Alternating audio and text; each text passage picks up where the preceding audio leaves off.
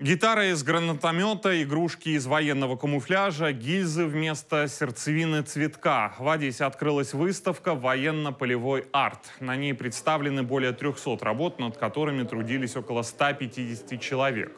Автор проекта говорит, собирать экспозицию начал прямо во время прохождения службы на востоке страны. Я ветеран АТО, я приехал, когда я был на ротациях, я все это собирал.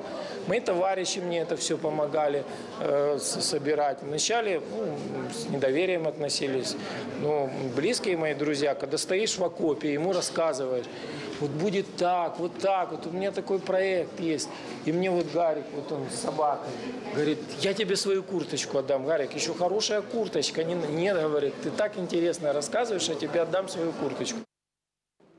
Теперь эту куртку-камуфляж, а также другую военную атрибутику можно увидеть среди экспонатов совершенно иной роли. Ознакомиться воочию с необычными трансформациями можно будет ежедневно до 10 сентября в выставочном зале Одесского историко-краеведческого музея.